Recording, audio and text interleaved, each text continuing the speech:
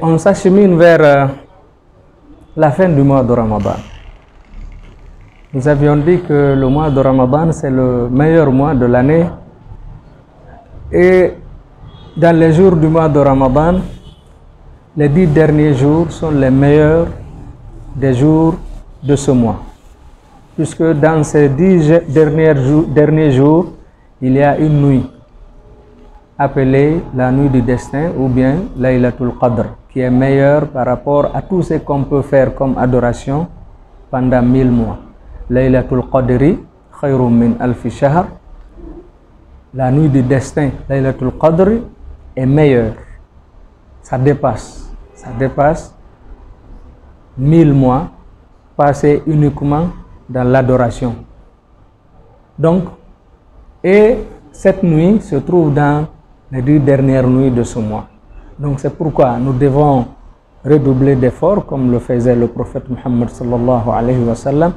Il attachait sa ceinture pour mieux s'arrêter pendant ces dix dernières nuits et implorer la grâce divine.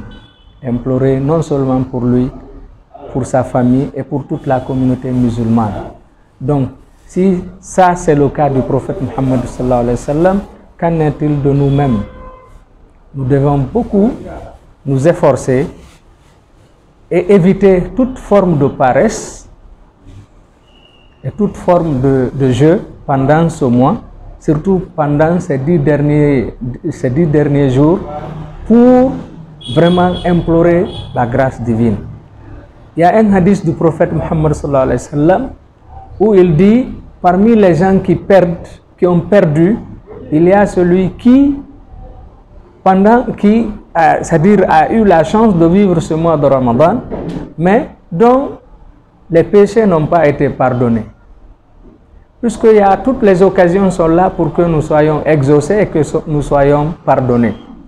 Les portes de l'enfer sont fermées, les portes du paradis ouvertes, les démons, les diables, les shaitans sont enchaînés. Voyez l'engouement des gens pendant ce mois de Ramadan. Shaitan est enchaîné. Il ne nous empêche pas d'aller vers Allah subhanahu wa ta'ala. Donc, l'ennemi juré de l'homme dans son élan vers Allah, il est enchaîné.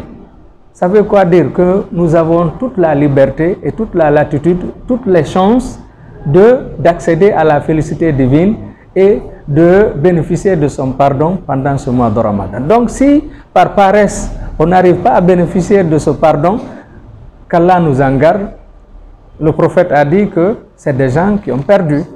Donc nous devons redoubler les efforts. Actuellement, nous sommes en train de faire nos prières, le tarawih. Il faudrait faire le tarawih et faire le tahajjud. C'est les prières que nous faisons après avoir un peu dormi, que nous appelons Salatul Tahajjud.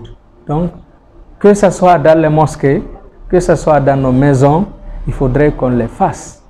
Si on ne peut pas beaucoup, euh, on ne, ne, mémorise pas beaucoup de Coran, mais qu'on se lève, c'est que nous mémorisons, qu'on prie avec, et que nous levions nos mains vers Allah subhanahu wa ta'ala pour demander à ce que nos affaires hein, soient facilitées dans ce monde et que nous puissions accéder à la félicité divine, le, euh, le paradis al-Firdaus. Arrivé au terme des 10 jours, mm -hmm. par exemple, que, quelles sont les étapes à franchir Parce qu'il y a des étapes bien avant la fête. Oui, oui. Et vous savez, nous avions tout à l'heure dit que le mois de Ramadan est un mois de partage. Il y a ce qu'on appelle euh, le zakat al-fitr, l'aumône de la rupture du jeûne, qui est donné à la fin du mois de Ramadan. Lorsqu'on va s'assurer que le mois de Ramadan est fini et que le lendemain, ce sera la fête, il est demandé à tout musulman, qu'il soit grand ou petit, qui a vécu pendant ce mois de Ramadan, de donner une aumône, ce qu'on appelle le sa, le moudo. Nous le disons chez nous en termes clairs, le moudo, pour que les gens comprennent. Il faudrait que cela soit donné pour chaque tête. Et cela doit être donné avant, le fait, euh, avant la sortie vers euh, la grande prière de la fête. Cela nous permet de combler les insuffisances que nous avions faites pendant ce mois de Ramadan. Il se peut que des fois qu'on ait fait des péchés, on n'est pas, l'homme n'est pas parfait, on l'a souvent dit, mais Allah, par, la, par sa miséricorde, nous a institué cela. Tu vas payer cela pour que, c'est que les insuffisances là soient comblées et que le jeûne soit complet. Donc, c'est lui qui a les moyens doit le faire. C'est lui qui n'en a pas le moins doit bénéficier de cette aumône. Justement, une précision par rapport à ce point, c'est lui qui a les moyens. À partir de quand quelqu'un est désigné pour enlever ce, ce sacrifice? Oui, s'il a ce qui le suffit à manger, il a quelque chose qui reste. Hein? D'accord? Mais s'il ne l'a pas, donc lui, il doit recevoir cette aumône. Il y a des gens qui disent que si, par exemple, le pauvre qui n'avait aucun moyen, donc était exempté du paiement de, de cette aumône, mais qui arrive à l'avoir dans la nuit. Il arrive à, avoir ce qui, ce, que, ce qui peut lui, le suffire, lui et sa famille, et qu'il y ait du reste, qu'il partage le reste là, qu'il donne cela en guise de d'aumône aussi, pour lui, pour sa famille, si ça peut euh, couvrir toute sa famille, mais ce qui est là, ce qui peut, euh, ce qui est disponible, qu'il donne cela. Quand il va donner ce qui est disponible, Allah subhanahu wa ta'ala n'impose pas à une âme ce qui est au-dessus de sa capacité. Déjà que c'est ce que quelqu'un a qui ne le cache pas. Et Est-ce que, qu'en est de la quantité exigée par Bon, c'est le sa. Le sa, c'est le, c'est quatre moudes.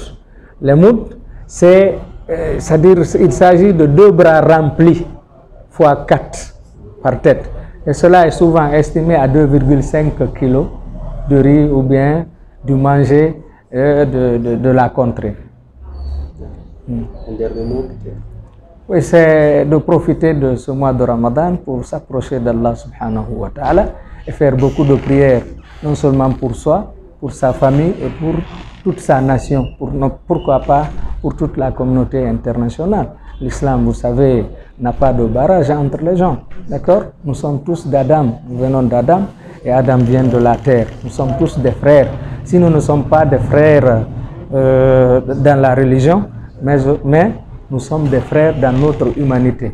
Donc il faudrait faire des prières pour tout le monde et chercher Allah, euh, que Allah subhanahu wa ta'ala nous maintienne dans ce que nous faisions pendant ce mois de Ramadan. C'est un séminaire, donc après le séminaire, il faudrait mettre en pratique les acquis du séminaire.